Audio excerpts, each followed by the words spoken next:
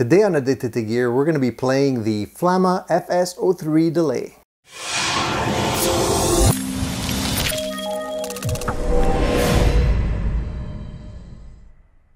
I normally like to use the pedals on my pedal board very sparingly. I don't like to overdo anything, and that's because I feel that effects work best when you use them as like the final seasoning on a really nice meal. You don't want to overdo any of it, except when it comes to delay pedals. Delay pedals are kind of in a different category for me because I feel that I can use delay pedals to actually open up very creative ideas that I wouldn't normally stumble upon myself. The reason for that, I think, is because delay pedals really change the way you approach your playing, the feel, the timing, and you know, you can stumble on some really nice creative um, syncopated uh, phrases with uh, delay pedals. And I feel that if the delay pedal does some, stuff just a little bit differently, it's actually even better because then you really open up some, uh, some ideas that you normally would not have thought of otherwise. Well, the Flamma FS03 delay pedal is that type of a pedal. It's actually unique enough to approach the idea of a digital delay just a little differently. And mainly it's because of these two knobs that it has the Tweak 1 and Tweak 2 knob. The rest of the knobs on the pedal are pretty much typical. You have the mix, you have the time, you have the feedback, but the Tweak 1 and 2 is where this delay pedal stands apart because it uses these two knobs to tweak the delay sounds in a totally different way that you normally would not have thought of. And it really makes the sounds quite unique. So if you're looking for a very run-of-the-mill delay pedal, this one might not be for you. But if you're looking for something to open up some creative ideas and maybe just give you that edge over, you know, the sounds that everybody else is using, then this pedal could be a great creative tool. It does a couple of things differently. As I mentioned, the tweak knobs. It also allows you to save the patches when you finally find the sound that you're looking for. It has seven total banks that you can actually save settings in so you can recall them very quickly and you don't have to mess around with the knobs every single time when you're trying to actually play. You already have the ability to quickly save them with this little save button that you have right in the middle. And it's as simple as just dialing in your sound, hitting the save button, and you basically have your patch ready to go next time. And if you, you want to change that along the way, you just have to tweak it again and hit the save button again. And it overrides what you had there before. Very, very simple. Uh, one of the other aspects that I like about this pedal is that it also has a built-in 80 second looper and that is in patch 7 and we're going to talk about that. We're going to go through some of the sounds in just a minute but I just want to give you an idea of how this pedal works and what makes it different. So the looper is an 80 second looper as I mentioned. It doesn't allow you to loop without any effects. It always is going to give you some delay effect uh, because it is after all a delay pedal. But you can actually loop with the delay effect and really take things in a totally different direction, which is really cool. Uh, beyond that, you have the ability to have the uh, little switch here work as a tap tempo. So if ever you need to just, you know, you don't want to bend over to, to change the knobs you're playing, you can just tap the tempo here, which is very convenient. And you can also turn on and off the trails um, on this pedal so that you can, you know, if you switch off the pedal, the trails will continue. Uh, if it's um, uh, if the if the trail is off, then you, when you switch it off, it will be a hard a hard stop. So you have the ability to have the trails on or off, which is really nice as well.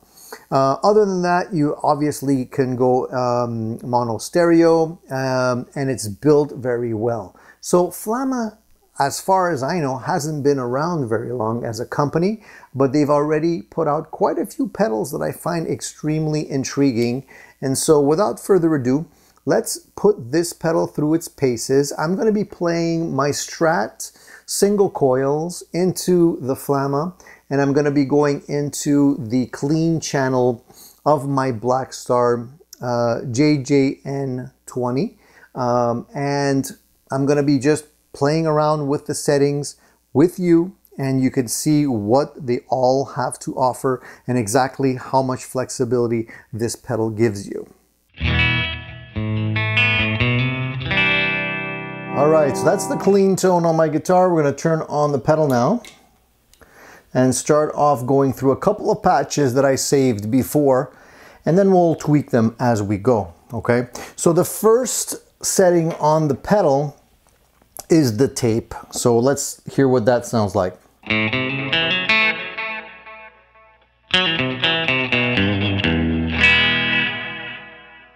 As you can see, there's a slight modulation. That is actually tweak number two. So we're gonna turn that down.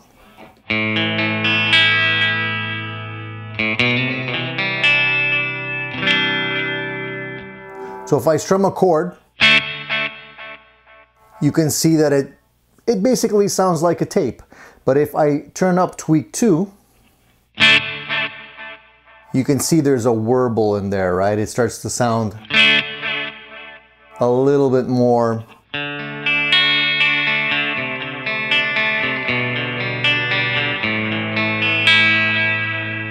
So tweak one is filtering, tweak two is modulation.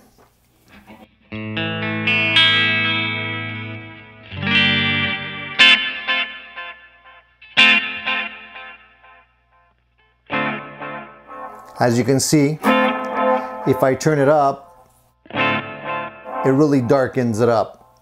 And if I turn it to the left,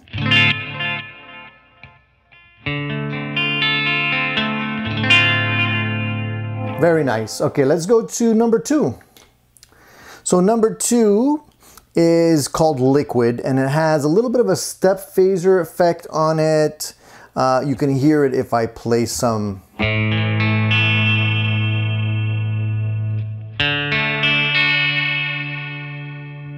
So uh, tweak number one is the rate.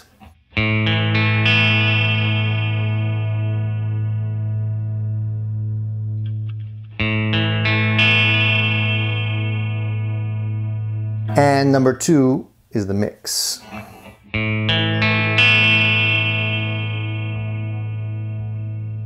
And anything above 12 really starts getting a little bit like spacey.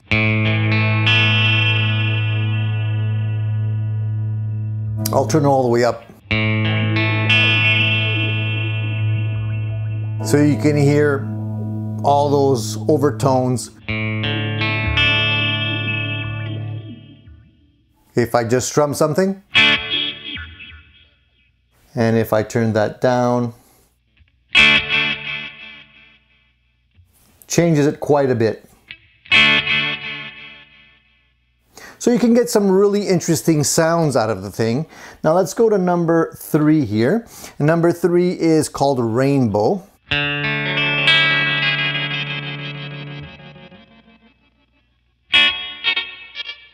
So as you can see, it steps up or down depending on how you have the tweak knobs.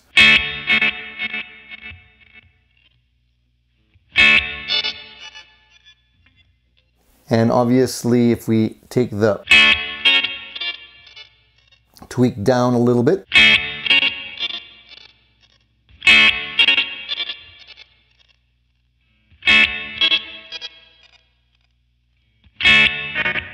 We can also bring it down.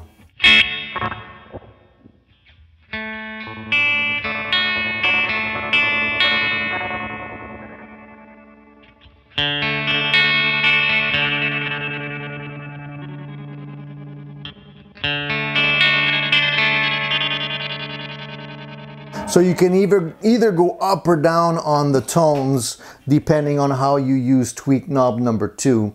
And um,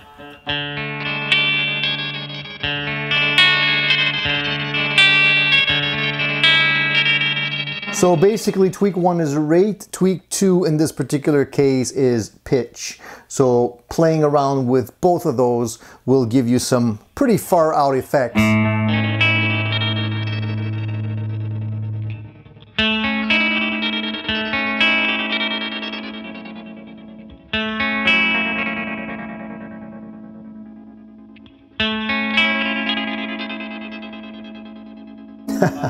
it's a lot of fun for sure. Let's go to number four. This is called Galaxy, and this is a little bit of a slow uh, gear effect.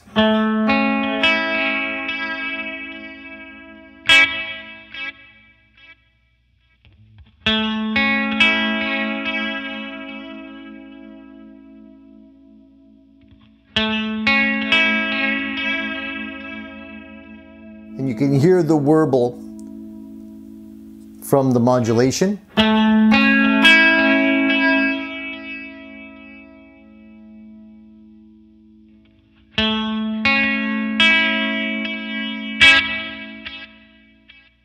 So you can get a lot of uh, crazy effects out of this pedal just by playing with tweak one and tweak two. And the other uh, knobs here are basically straight delay type of knobs that you would get, you know, your time, your feedback and, and whatnot.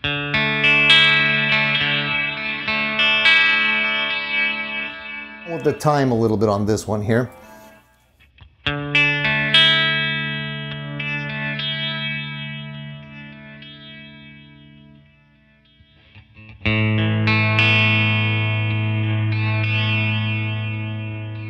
Let's bring it up a little bit quicker.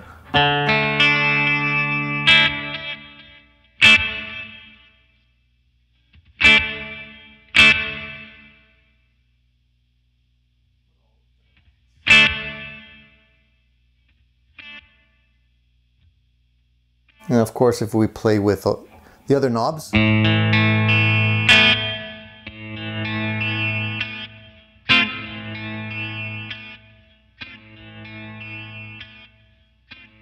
Let's go to the next one. Number five here is, uh, it's a mod, a modulation verse.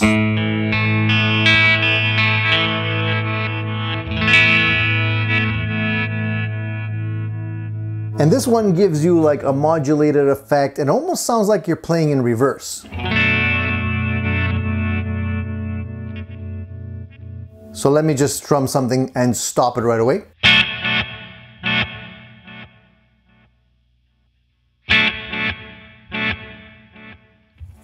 And let's play with the tweak knobs here.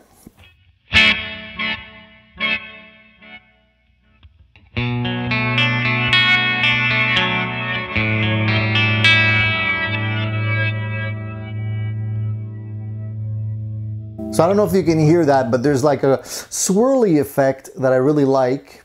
Let's take the tweak 2 almost all the way down and let's put it at about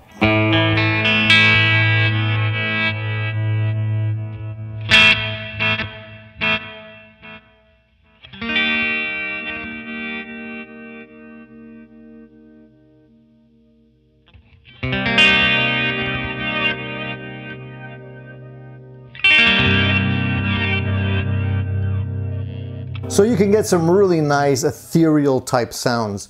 Um, again, you know, the, the time on this is not necessarily adjusted to any specific point. I'm just playing around with the sounds at this point.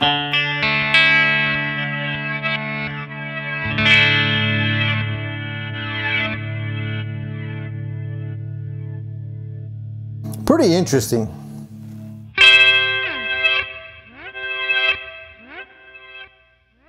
So you can hear how it sounds like it's almost in reverse. Very interesting sounds. Let's go to number six. This is called Low Bit, and uh, let's hear what it sounds like.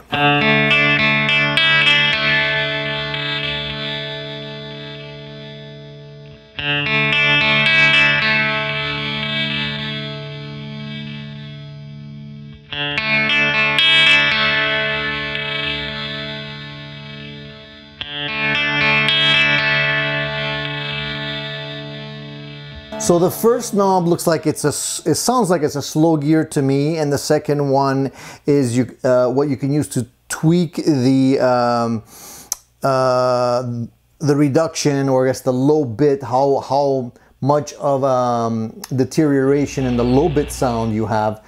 Now if you see I turn it up past 12, it starts getting noisy.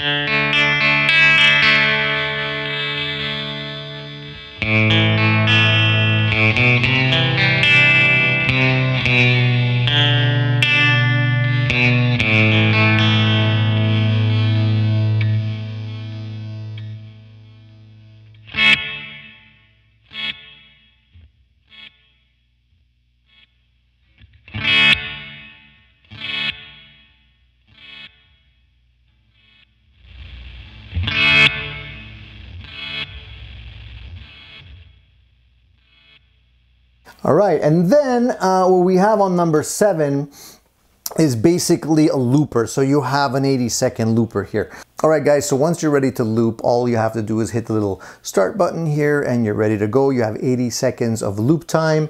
You just have to remember to make sure that your delay is set the way you want it to be. Otherwise, you're not gonna have any clean loop. There's always gonna be some delay effect in the loop. So let's start off with something random.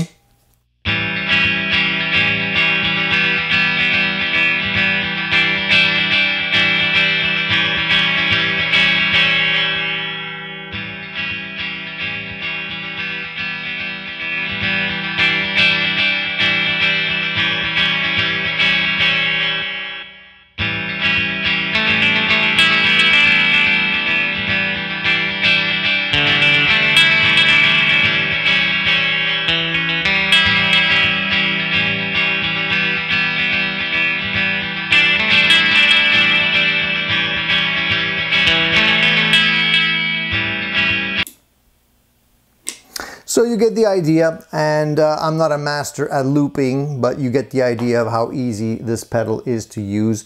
The other cool feature of this pedal is that once you have your settings the way you want them to be, say we're on the first uh, effect here.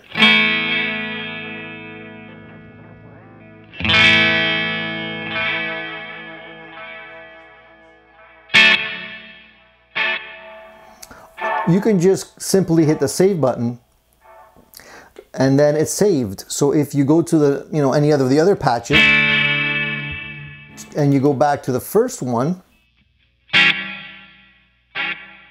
you have it saved there. So essentially you have the ability to save your favorite patches. And I think that's super sweet for a pedal of this price point to have features like that. So you guys know how I love unique pedals. I love companies that do things differently. I love value for the money and this pedal really is all of that. Not very expensive. It's made in China but it's built very well. I can see that the sounds are top notch and you have a lot of flexibility at your fingertips with this pedal. So in my opinion, definitely worthwhile picking one of these delay pedals up, especially if you have maybe a couple of standard analog or digital delays that just do run-of-the-mill type stuff and you're looking for something just a little bit different. Check out the Flamma FS03.